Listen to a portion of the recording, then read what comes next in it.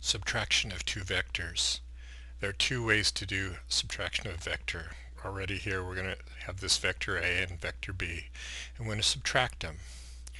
One thing we can do is create negative B which is create a different vector that's the same magnitude but opposite direction and add it normally to the vector A and that gives you uh, a vector which is then a minus b, just doing normal addition of negative b to a.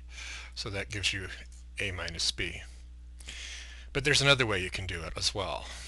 This is the sort of the intuitive way. The other way is you put the um, two vectors head to tail, you move the negative vector down here and then interesting enough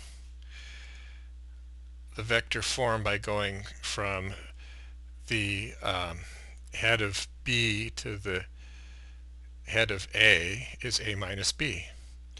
So you can either flip one and uh, add them normally or you can put them uh, tail to tail and then b minus a or a minus b will be the vector from b to a.